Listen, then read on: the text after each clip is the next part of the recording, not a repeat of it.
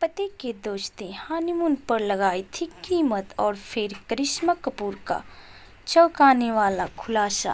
करिश्मा कपूर, जिन्होंने अपने समय में बॉलीवुड की कई फ़िल्मों में काम किया है, खूबसूरत होने के साथ साथ लोगों को उनकी एक्टिंग भी काफ़ी पसंद थी। वैसे आपको बता दें कि करिश्मा कपूर परिवार की एक ऐसी महिला है, जिन्होंने शादी के बाद फ़िल्मों में काम नहीं किया। करिश्मा ने अपने कैरियर की शुरुआत 16 साल की उम्र में की थी। वैसे आज वह चवालीस साल की हो गई है। अब भी काफ़ी खूबसूरत नज़र आती हैं।